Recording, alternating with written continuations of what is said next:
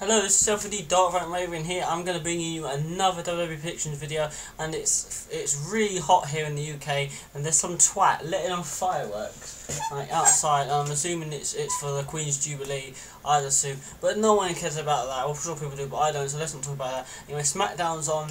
So um, well, no, it's not actually a predictions video. It's an opinion video. If I didn't already say that.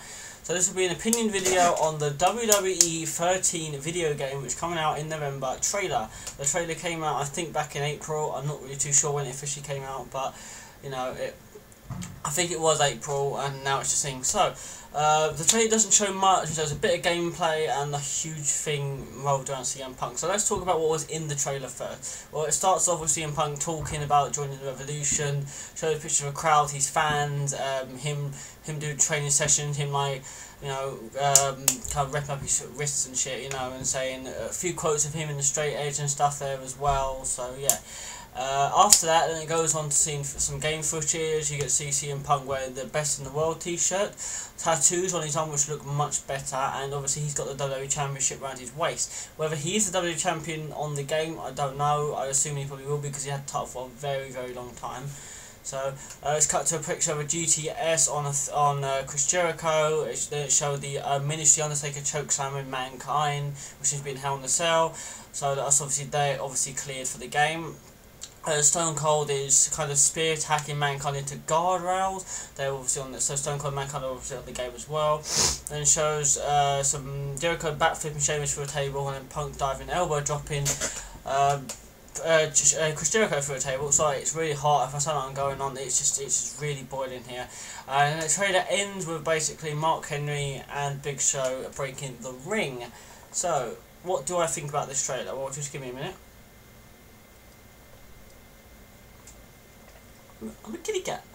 Uh, personally, I thought the trailer was a little bit shit and it was a little bit disappointing.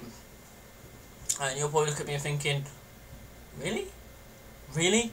Yes, really. I really thought the trailer was a disappointment.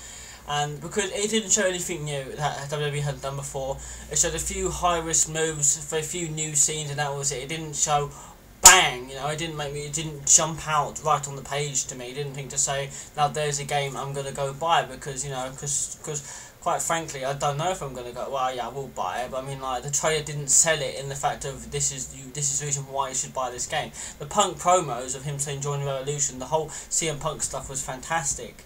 But I just think, you know, they showed the wrong gameplay and stuff, and I don't know, I mean, breaking the ring, I suppose, is cool, but it'll probably only be a cutscene in, in universe mode, or it'll probably be one of the create um create a storyline in um create a pay per view create story. You know when you create you create uh, Raw and SmackDown and you choose the cutscenes yourself, so it'll probably be one of those. It's the same with maybe the barrier of Stone Cold and Mankind as well in there as well, so that probably be a thing. The table thing is probably just meh anyway. So so there wasn't really that much shown that really excited me. I mean, they finished it with the ring break, but to be fair, I don't think you'll be able to do that much anyway, unless every time you're every time you're Big Show and Mark Henry, you do um suplex from the uh, thing, the ring breaks automatically, which I doubt it. So.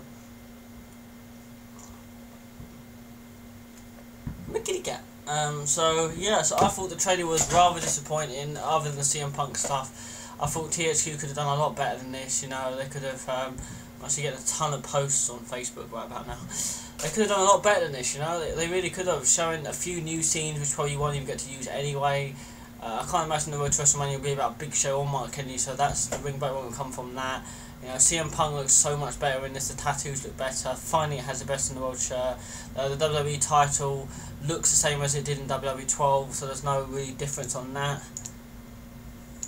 Um, so I don't know. Yeah, but from the trailer, there is obviously there'll be more information about WWE12, uh, WWE13. Sorry, I think I said WWE12 twice. WWE13 um, released soon. Uh, probably the roster, which will probably do a video on, on some of the modes as well. As I've read a lot, there's a lot, of few different modes on there. I think there's live 24/7 mode and universe mode 0.20. So yeah, so reading about it's good, but uh, the trailer didn't live up to the hype in my opinion. I just didn't think it lived up. I just I don't know. I, I just didn't like it. In my opinion, in my opinion, I didn't like it. Um, I'm sorry if that you know if, if you don't agree with me, but that's just my opinion. I just didn't like it. So, so that's my thoughts on the WWE13 trailer.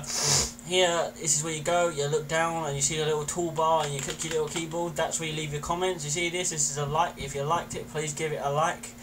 Uh, if you haven't already subscribed, please subscribe as well. It is free, you know, part of YouTube, so please subscribe for more opinion videos on WWE. I do have a lot of other videos as well. So yeah, that was my opinion.